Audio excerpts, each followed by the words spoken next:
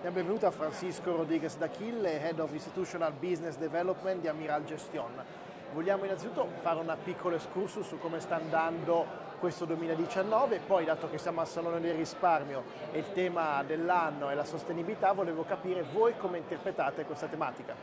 Eh, l'anno 2019 è un anno complesso perché l'investitore conservatore non ha trovato quella soluzione di investimento che si adatta pienamente al suo profilo. Allora noi lo stiamo interpretando come un anno di transizione perché è vero che stiamo vedendo una ralentizzazione in generale nel mondo, stiamo approcciando in maniera molto positiva i, mercati asiatici per i nostri portafogli globali per esempio, giustamente nella ricerca di diversificazione e mercati di nicchia eh, crediamo che sia molto importante poter eh, essere presenti su mercati più inefficienti. Eh, per cui crediamo che sia un, un, anno complesso con delle opportunità comunque perché quegli asset manager che sappiano eh, approfittare delle, delle, sue proprie capacità potranno generare alfa come noi ce l'aspettiamo.